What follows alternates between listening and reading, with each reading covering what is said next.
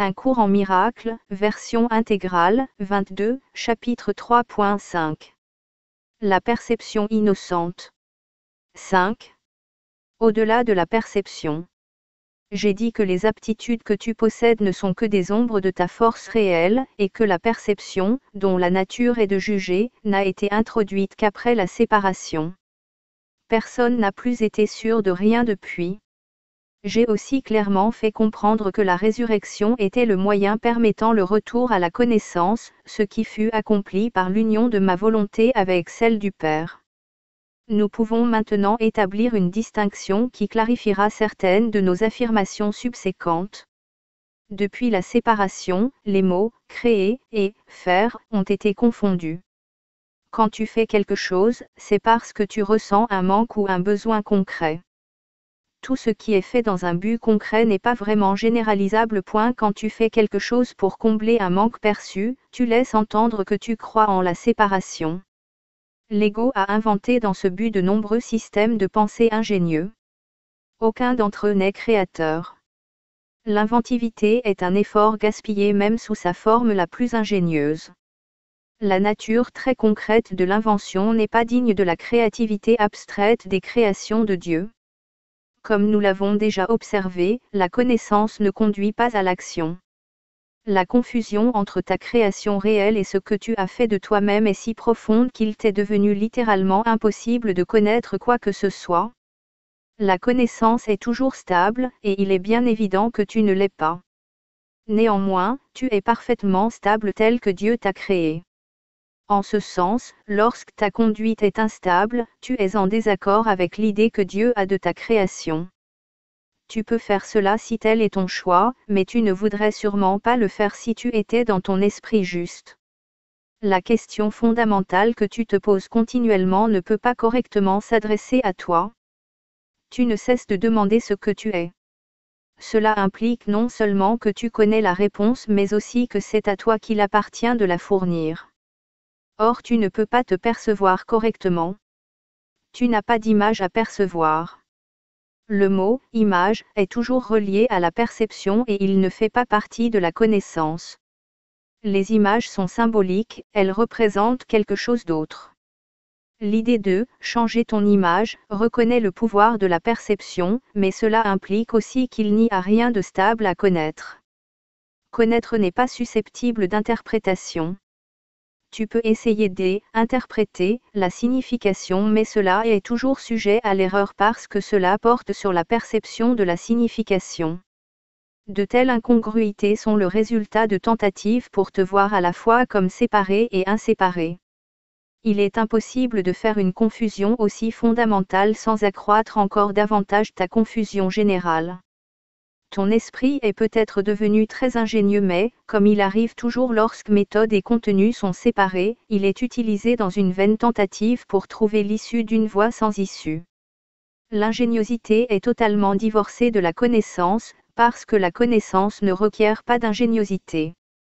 L'ingéniosité n'est pas la vérité qui te rendra libre, mais tu es libre du besoin dans user quand tu es désireux d'en lâcher prise. La prière est une façon de demander quelque chose. C'est le véhicule des miracles. Mais la seule prière qui ait une signification est la prière pour le pardon, parce que ceux qui ont été pardonnés ont tout. Une fois le pardon accepté, la prière au sens habituel n'a plus aucune signification. La prière pour le pardon, ce n'est rien de plus qu'une requête pour être à même de reconnaître ce que tu as déjà. En choisissant la perception au lieu de la connaissance, tu t'es placé dans une position où tu ne pourrais ressembler à ton Père qu'en percevant miraculeusement. Tu as perdu la connaissance d'être toi-même un miracle de Dieu. La création est ta source et ta seule fonction réelle. L'énoncé, Dieu créa l'homme à son image et à sa ressemblance, a besoin d'être réinterprété point par image, on peut entendre, penser, et par ressemblance, de même qualité. Dieu a bel et bien créé le pur esprit dans sa propre pensée et d'une qualité pareille à la sienne. Il n'y a rien d'autre.